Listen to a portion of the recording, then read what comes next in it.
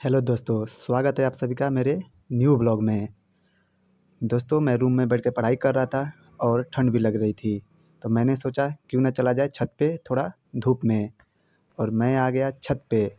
ये क्या, छत पे आने के बाद देखा तो धूप तो हुआ ही नहीं है और चारों तरफ़ कोहरा ही कोहरा दिखाई दे रहा है दोस्तों। ये देखिए दोस्तों, सूर्य का तो नामो निशान नहीं है और चारों तरफ़ कोहरा ही दिखाई दे रहा है।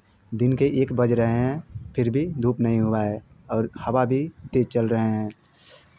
ये देखिए दोस्तों, मेरे तरफ़ तो ठंडी पड़ रही है। आप कहाँ से हैं? आपके तरफ़ ठंडी पड़ रही है, नहीं पड़ रही है? दोस्तों, कमेंट करके ज़रूर आप लोग बताइएगा। देखिए, धूप थोड़ा भी नहीं हुआ है दोस्तों, और ठंड भी छत पे ज़्यादा है तो छत पे आने से तो कोई फ़ायदा नहीं। अब मुझे नीचे ही जाना पड़ेगा दोस्तों।